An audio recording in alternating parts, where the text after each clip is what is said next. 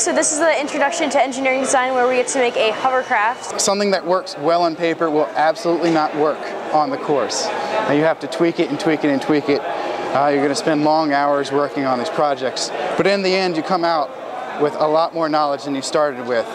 And uh, you made a few friends at the end. I thought it was a lot of fun. I mean, this is probably my favorite class this semester. We've bled and cried into this little hovercraft just to make it run. Um, from your very first day, as you can see behind me, you'll be designing and building hovercraft. Uh, that's the project we've used for the last few years.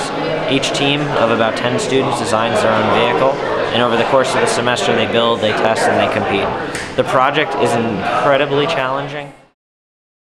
So the goal is for these students to build an autonomous hovercraft that can make it through this track that we've set up here for them.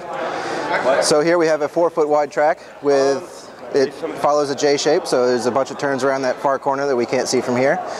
And it's got this nice black stripe down the middle. And the goal for the students is to be able to get from this end to the other as quickly as possible. Okay, I'm Michael Madden. Um, I'm team leader of Awesome Sauce Engineering. Kevin over here, he's on programming. Uh, Jason's on programming. Ahmad here has been on structures and levitations with me, as well as Erica. As you can see on the two sides, we have uh, fans that are going to rotate it either way. And then right in the middle, we have a fan pointing down that helps it to levitate. And then in the front, under uh, like the black shroud, there's three light sensors that we built that can detect uh, whether it's on the line or off.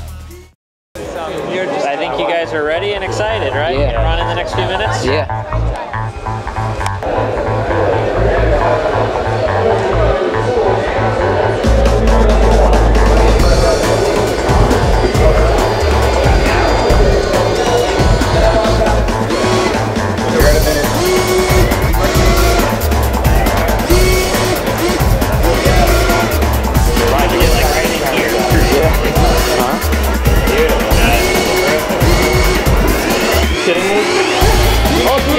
Moving, moving.